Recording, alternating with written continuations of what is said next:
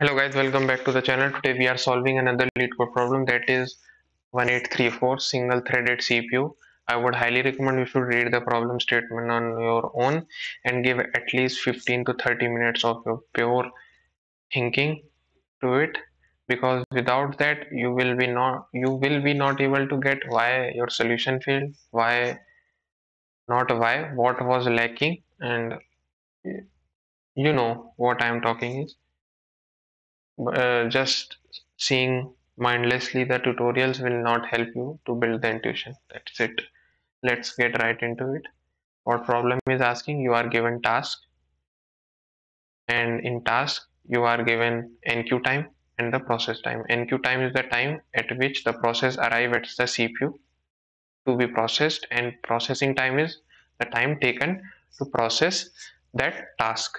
And while deciding the task which has to be processed we have to take the shortest processing time. And if the conflict arises in that two tasks have same uh, time of process then we will take the task which is at lesser index meaning if we have task at 0th index and 1th index so we will take the task which is present at 0th index. And also to know you can process one task at one time because it is a single threaded CPU. So two things to observe. First thing is enqueue time.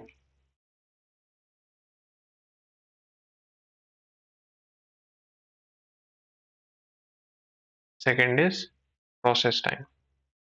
And sorry, also what problem is asking us to do is the order in which we have to process this. Why order is important? Because in any order we can do but why cpu is created? Because we want to process thing in shortest time. So in order to process thing in shortest time you need to have a look over these two things because these two things decide if we are able to process this these given tasks in shortest time or not. So first thing first, enqueue time. So this is the basic one. The first one to arrive will get uh, executed firstly. So there is no way brainer. The process, not the process, the task which arrives first will be processed at first. So in order to have task in order to have task in sorted manner. Because we need smaller smaller task with smaller enqueue time at at first. So how to do that? We have to have sorted it according to the enqueue time in the increasing order fashion. And what about the processing time? As we have discussed while taking the task, processing time is also an important parameter. So how to deal with process time? This can also be, this can be dealt with sorting because we need shortest time, shortest processing time, but in order, but uh, the problem is the set on which we want to have shortest time is keep keeps on changing so the more probable choice would be priority queue priority queue because using that we can easily enter the required element and see for ourselves not the element required task and see for this ourselves if it is the shortest time or not. Because in priority queue if it is a min heap the minimum will appear at the top. If it is a, a max heap the max will appear at the top that much is clear. And also in C++ I know that if for example these are the two tasks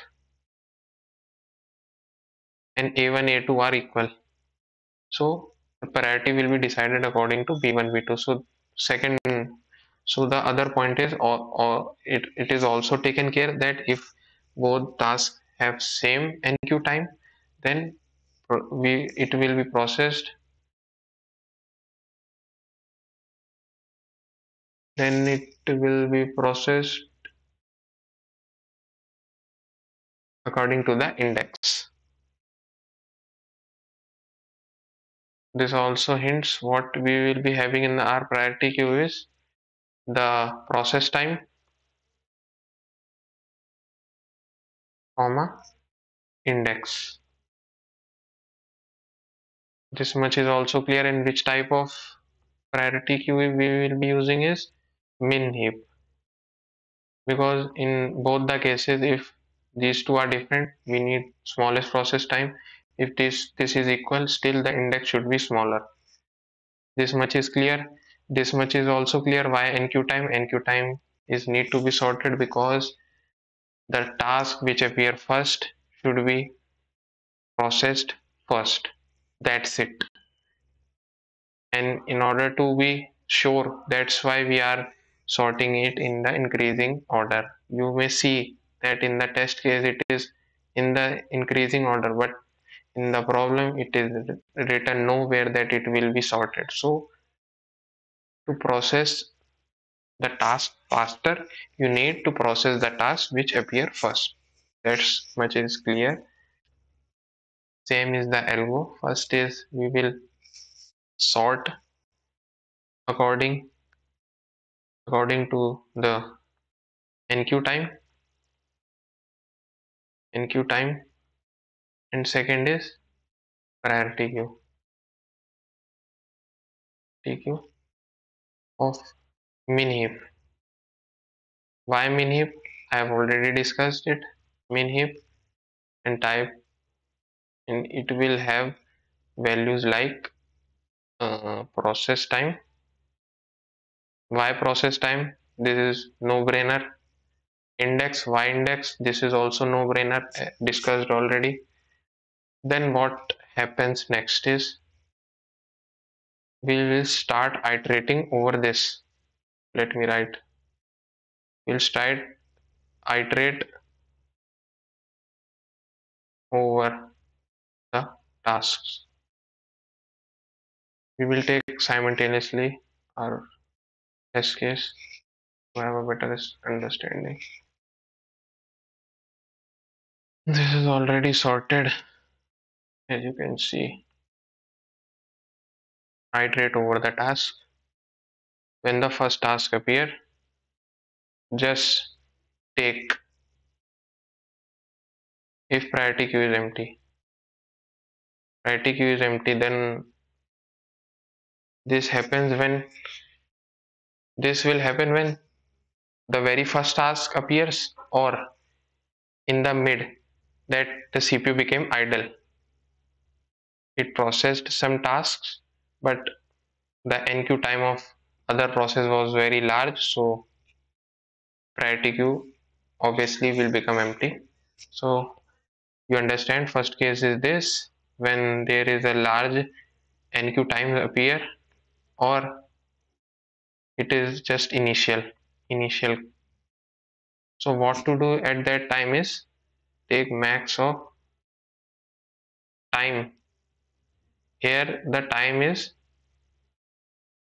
the time up to which we can process. For example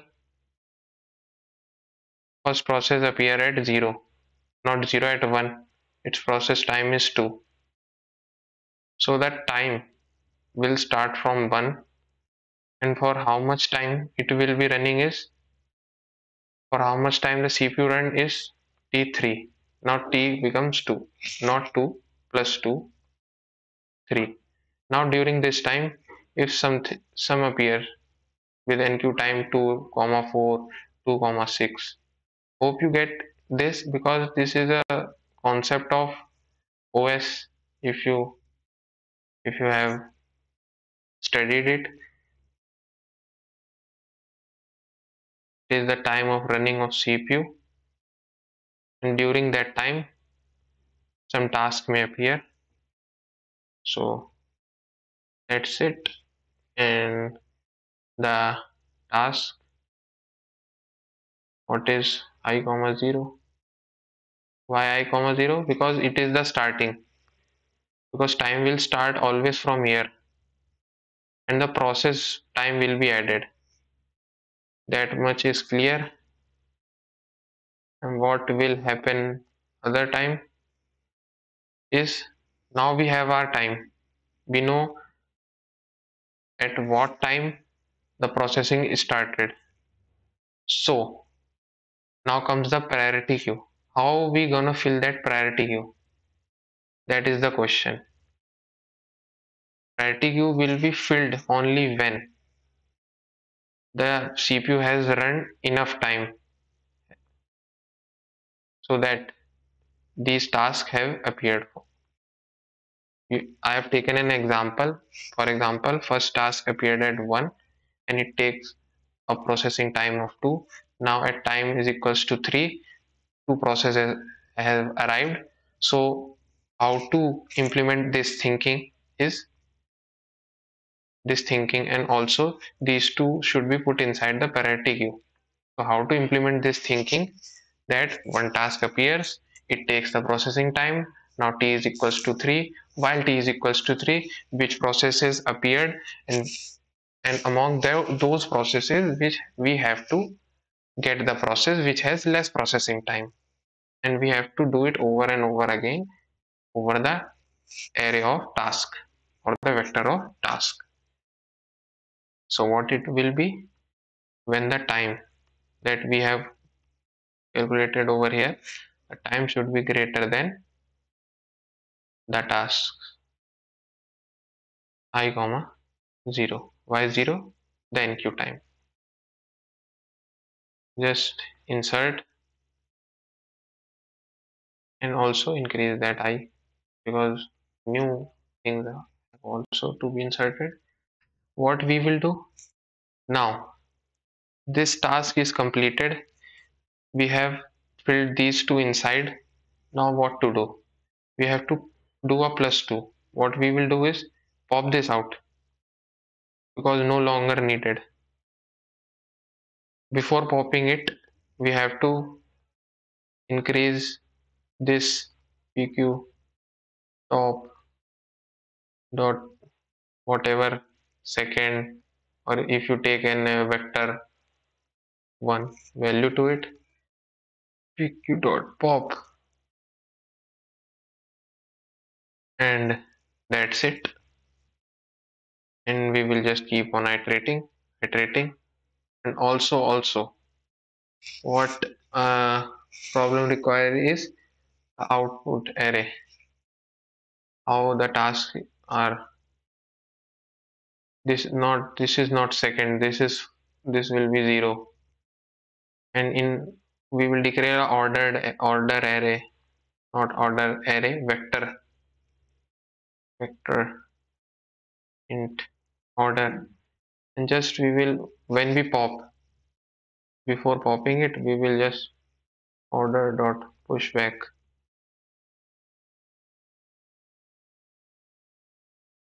for second top or second it will be first. Sorry my bad. Process time has to be added not second is our index this has to be taken care. So i hope you got the algorithm. What i am trying to do is is i'm not writing again.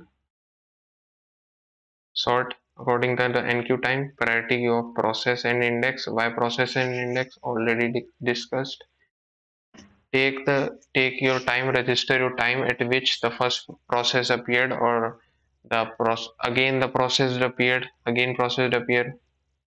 When this condition happen is a long enqueue time. And when this also happen when it is a initial initial. And how to insert those while this process has completed and insert those new task is using this if time time what is the time? It is 3 it is 3 so while doing this how many of has enqueue time less than 3 or in other words time is greater than 3 we will just insert them increase. And while and what we are doing is over here is we just when we pop something we put their index inside and also increase our process time. Like this 1 plus 2 3 and just popped it. And this process goal goes on and on. I hope you got the intuition. Algo slash code type because it is a quite a concept. You need to know os it is a os concept. If you have some knowledge of gantt chart it is in the CPU scheduling method it is taught. If you have some idea about it then it would be much much easier if you have any doubt you can also ask in comment section. Because I have taken the uh, approach like that you know how CPU works. That shouldn't be a problem. Basically what we are doing is I should give you a overview is is that we get the enqueue time and using that enqueue time we decide that at this time the process the CPU starts and at this this is the end and this is the start. The process start we put that end to that time. For example this was the s and t becomes t dash and t becomes t dash t dash t dash is s plus e and y at this at this particular time when t is equals to t dash which process appeared before cpu these process appeared before cpu now which process we would be selecting to process further is the one which has less process time. If the process time is conflicting we will take the one which has smaller index. That's it. That's it. What the code is the whole code is just implementing this. Take time. Take the start time. Process the process it. Add the process time to it. And see which tasks are present to the CPU at this time while while finding that insert those tasks in the priority queue. Why? To get the task which has less process time and also in the conflict which has less index.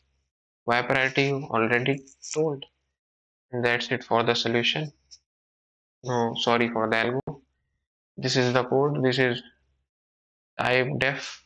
We do in order to write less pair int comma int again and again.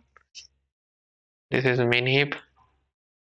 This is, these are basic variable time time. This variable is very crucial because this decide at at what time the task ha have appeared. For example it is like clock. It is like clock by it just runs and it shows which process now can be entered. For example the clock not the clock for example a task runs from this duration. For example we work yeah it is a better example. If we work from 1 o'clock to 3 o'clock then whichever task will appear will appear in this we will try to do them. Same is with the cpu this time the cpu start executing this is the end. Not the end but time at which this the process which started ended. Then only the next process will begin. So in the meantime in the meantime these two processes appear. So to have this we you we are using time variable to find out these two tasks which have appeared to the CPU for processing the basic sorting. The what we are doing over here is task yeah we are making index inside the task only because it is given int vector. We can have it inside the priority queue also. But nonetheless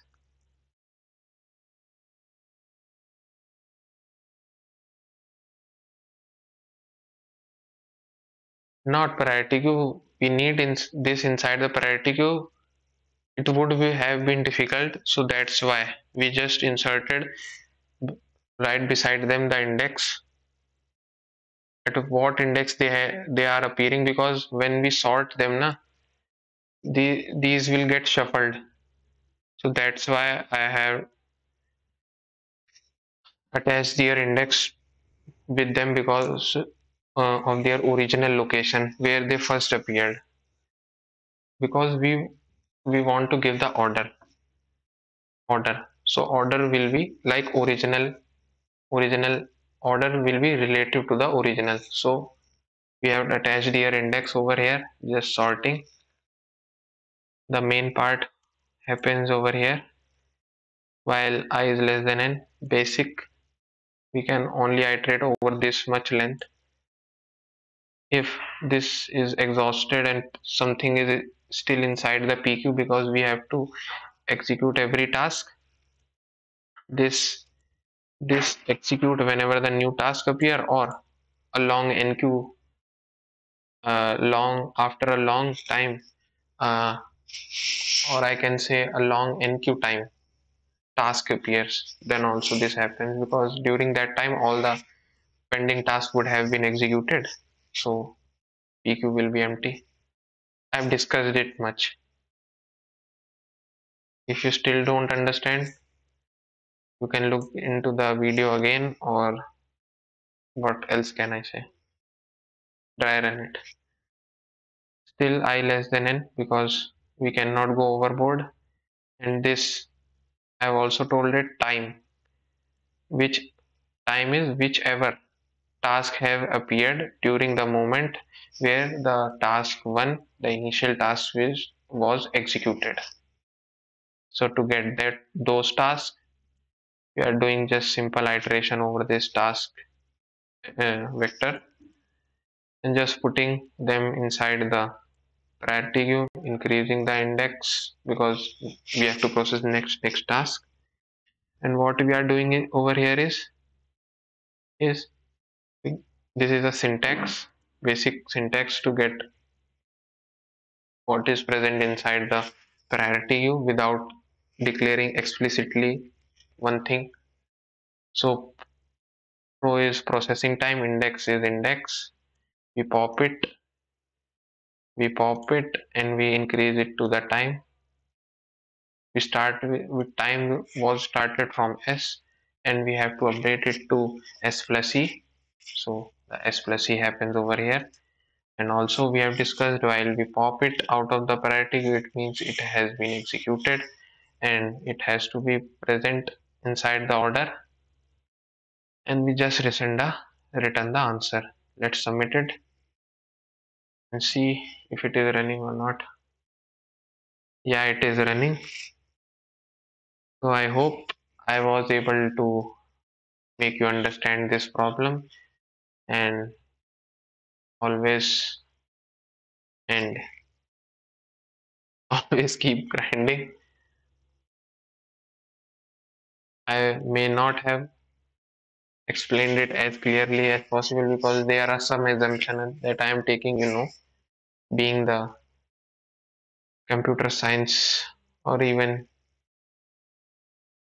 what can I say even some knowledge of CPU so see you in the next one. Bye bye. If you have some doubt there is comment section.